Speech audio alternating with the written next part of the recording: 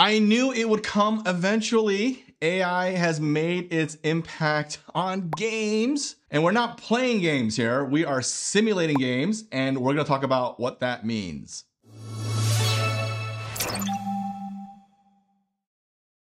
And Sasha, you're saying this time it's Google, not Blizzard, Google. We're back to Google. It's not Google Stadia, just Google.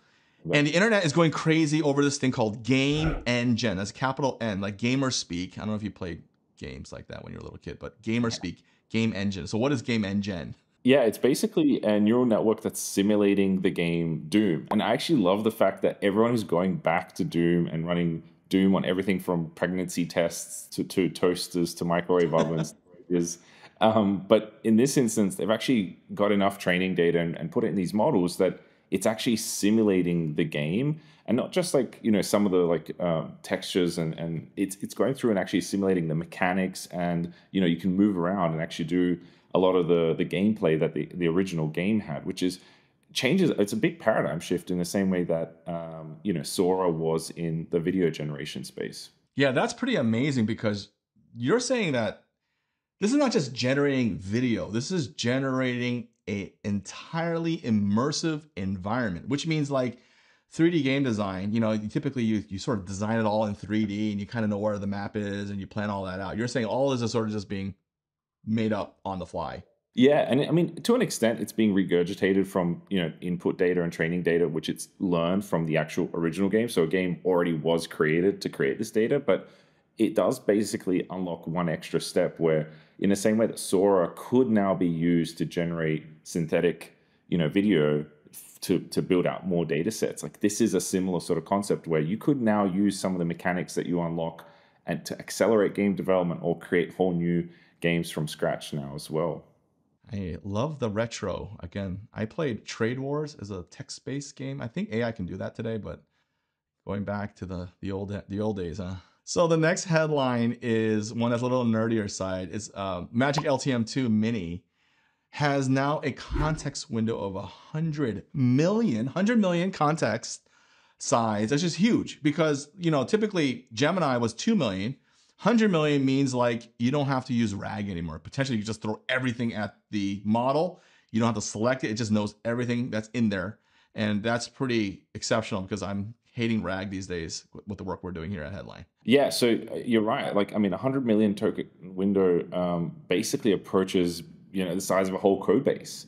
And when you get to something that big you're right you stop essentially needing rag. And and it's it's kind of interesting because in the same way that your brain knows what it knows and where it learned it this is a similar sort of concept where it's basically attributing a specific hash uh, to each of the you know individual data points, and then it's able to basically come back to that specific point. Um, and what it allows is, let's say, if you have a massive code base and something there's a bug in a specific component, you can actually go back and triage and, and find that specific hash that apply to that and actually solve it at the root cause. So it's super super impressive um, especially i mean 100 million token window i mean that's that's the size of something like 50 textbooks so it's a huge amount of information that it can take in and, and a massive step forward. I don't think people realize in like these days how all these LLMs are being fed data through the system called RAG, Retrieval Augmented um, Generation. And it's clunky. It's super clunky. A lot of the demos look slick, but they're all setups. To actually do use RAG in production is non-trivial. And uh, you know, I'm like, I'm thinking, oh god, let's just have big context windows, and boom, there we go, 100 million. So that's pretty awesome. All right, so uh, you have now been vindicated. Uh, Strawberry exists because technically now the government knows about it. So the headline is OpenAI and Anthropic, so you know, rivals come together. They announced early access to the federal government to look into these strawberry demos and this is unconfirmed because anything related to the government, this is like areas, you know, Area 51, but they have now access to Strawberry. So should I be scared? Yeah, I mean, no. I think this is a, is a, step in the right direction, and and uh, honestly, I think it's what a lot of people would expect to happen when when something this big, uh, development this big happens. So you know, we heard a lot of rumors um, the weeks leading up to this, and you know, it's actually interesting to see that there is, again, theoretically, some substance to it. Um, and I wouldn't be surprised um, if this sort of trend continues as we see bigger and bigger developments, that it does gradually shift into more of a political and a national security uh, realm. So I do see that line getting um, blurrier as things go along. And there's a great um, post by Leopold Aschenbrenner uh, where he speaks a lot about the risks of the geopolitical implications. And honestly, like, I, I do agree with him as these um, capabilities do develop. The significance for national security and on geopolitical stability does increase as well. And you know, uh, a few weeks ago, you were like, Sam Altman's dropping strawberry photos on his Twitter.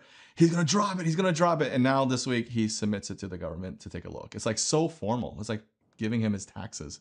So yeah. uh, I guess, and we're not going rogue yet. It's going to be very sort of safe and uh, aligned, super alignment, I guess. Yeah, and I, I think actually it makes sense to actually give uh, the Defense Department a lot of access. So they can basically start to run their models and their simulations internally of like, hey, what does the front lines start to look like when some of these tools get deployed? So I think it's actually a, a net positive because it means you don't get a situation where you know in the war room people have too many unknowns. It's actually okay we, we're familiar with it. We can develop countermeasures. We can protect against it and we know what's going on and we can reach this kind of like balance equilibrium again.